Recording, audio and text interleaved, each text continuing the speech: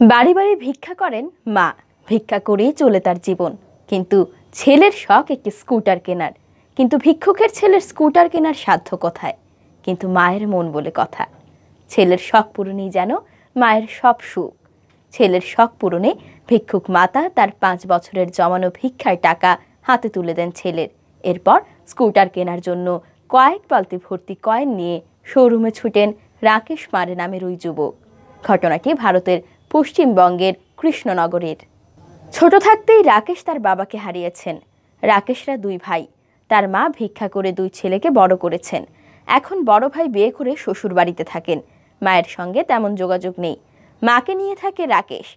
কলকাতার একটি মেনহোলের ঢাকনা তৈরির কারখানায় খুব সামান্য বেতনে কাজ করে সে। রাকেশ জানায়, একটা স্কুটার কেনার শখ তার ছোটবেলা থেকে। সেই শখ পূরণ করতে মা ভিক্ষা করে জমানো টাকা তার হাতে তুলে দিয়ে বলেছেন, যা বাপ, স্কুটার কিনে শখ মিটিয়ে নেয় আসলে আমার মায়েরও ইচ্ছা বাড়িতে একটা স্কুটার থাকুক। স্কুটার কিনতে কেন সব খুচরা কয়েন নিয়ে এসেছেন? এমন প্রশ্নের জবাবে রাকেশ জানান, ভিক্ষা করে মা যেসব নোট পেতেন তা খরচ করতেন। শুধু এক টাকার কয়েনগুলো জমিয়ে রাখতেন। বাজারেও কেউ এক টাকার কয়েন নিতে চায় না। তাই তিনি এগুলো জমিয়ে রাখতেন। সেই জমানো খুচরা কয়েন দিয়েই তিনি স্কুটার কিনতে এসেছেন। শোরুমের মালিক সুব্রত ঘোষ বলেন তিন বালতি কয়েন নিয়ে ওই যুবক যখন স্কুটার কিনতে আসে, তখন তা দেখে আমরা হতবাক। আমরা এত কয়েন নিয়ে কি করব তখন বুঝতে পারছিলাম না।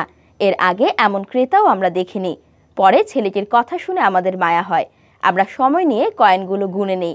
কয়েনগুলো দিয়ে দাম চুকিয়ে স্কুটার কিনে নেয় ছেলেটি। শোরুমের ম্যানেজার বলেন, তিন বালতি কয়েন। এত কয়েন তো ব্যাংকও নিতে চাইবে না। তাই আমরা কি করব বুঝতে পারছিলাম না। পরে মনে হলো কয়েনগুলো তো আর অচল নয়। তাহলে যেভাবে হোক চালিয়ে নেব। কারণ কয়েনগুলোর সাথে একজন অসহায় মায়ের মমতা আর এক যুবকের স্বপ্ন জড়িয়ে আছে। তাই শেষ পর্যন্ত আমরা কয়েনগুলো রেখে স্কুটার দিয়ে দেই। নাফিসা তানজিন, আন্তর্জাতিক ডেস্ক, বাংলা ভিউ।